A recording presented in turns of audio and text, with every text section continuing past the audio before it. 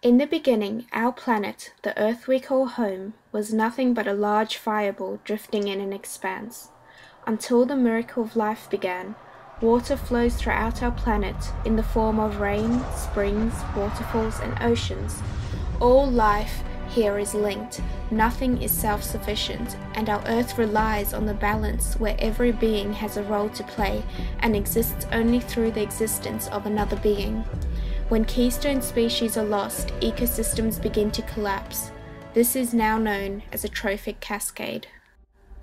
Over 150 years ago in Northern America, the world's first protected national park was established, now known as Yellowstone National Park. This ancient and mysterious lands holds exquisite and rare wildlife spread throughout dynamic landscapes, scattered with dormant volcanoes and hydrothermal marvels, surrounded by lush forests with rivers bounding in aquatic life. By the late 1900s, the landscape had tragically shifted. River erosion and habitat loss alarmed researchers, but most perplexing of all were the missing trees. Biologists Professor Bill Ripple from Oregon State University and Professor Eric Larsen from University of Wisconsin investigated the loss of aspen and willow trees in Yellowstone. At first they suspected climate change to be the effect of the missing trees. However, this was dismissed because if this was the case, trees throughout the northern Rockies should be disappearing at a correlative rate. Then they suspected it to be due to the control forest fires, as aspen trees thrive after being burnt. However, the huge forest fire of 1988 produced little to no new trees. Ripple and Larsen began having a closer look at individual trees, exposing that aspen trees had not regenerated since the 1930s. The only significant ecological change made to the park in that time period was that by 1930 Yellowstone's last remaining wolves were eradicated from the park. In less than 58 years, there was a recorded government funded culling of over 81,000 wolves in Montana alone. Due to the absence of hunting wolf packs, the Elks had nothing to hunt them, and as a result, their population size had almost tripled within the first three years after the removal of their natural predator.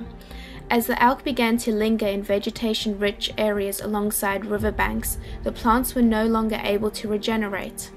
This then led to the mass erosion of streams and the devastation of species that depend on them.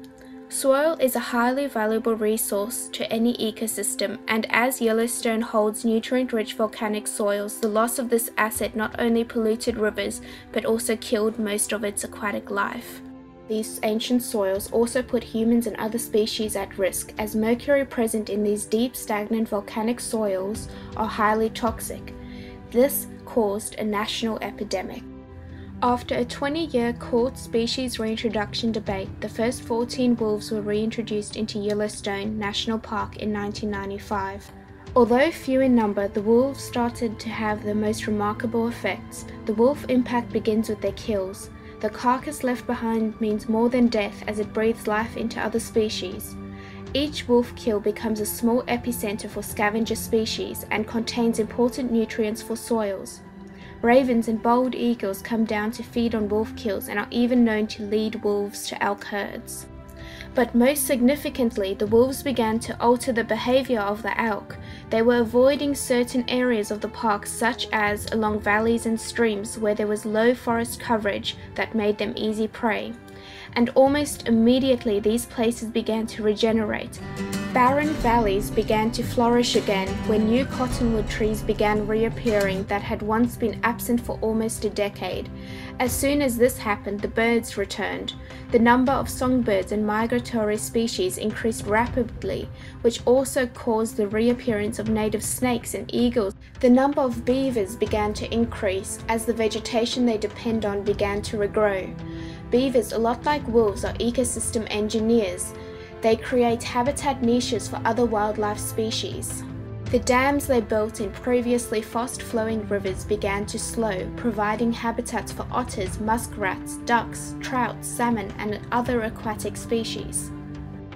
As well as the elk, wolves killed overpopulated coyotes, the result was that the number of native rabbits and mice began to rise, which meant that more hawks, more weasels, more foxes, and more badgers had a food source. Even bears benefited from the reintroduction of wolves.